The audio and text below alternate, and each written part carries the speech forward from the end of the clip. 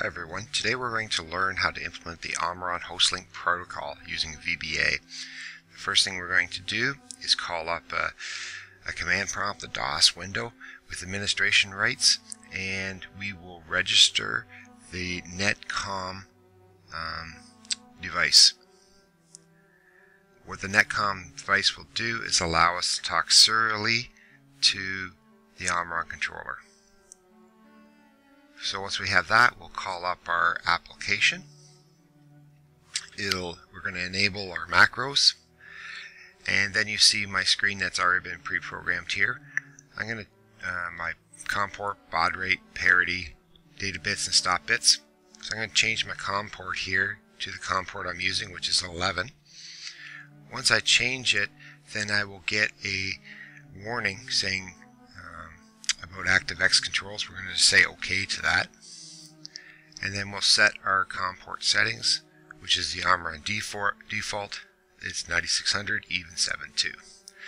We'll take a look at their unit number, our, our read address, it's data memory 0, starting word and number words, and that is our command string that we're going to be sending to the Omron controller.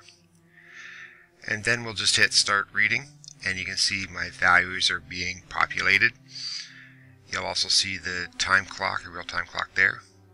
And you'll see my visual indication of all 10 of my data registers.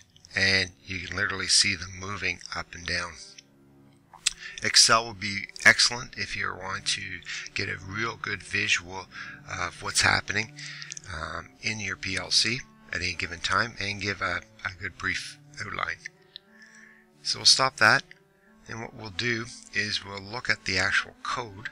So we'll go to the macro, go into the Visual Basic Editor, and under Sheet 1, this is the code, and this is also listed on the website step by step of how to go through and actually call this up. So the code basically will um, take the Omron data string, it will um, send out the code. It will uh, do the checksum calculations.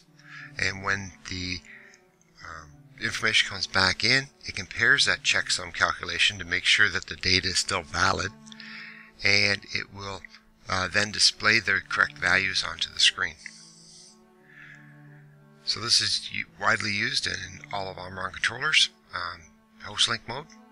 So, and it's an easy way of uh, implementing this uh, protocol.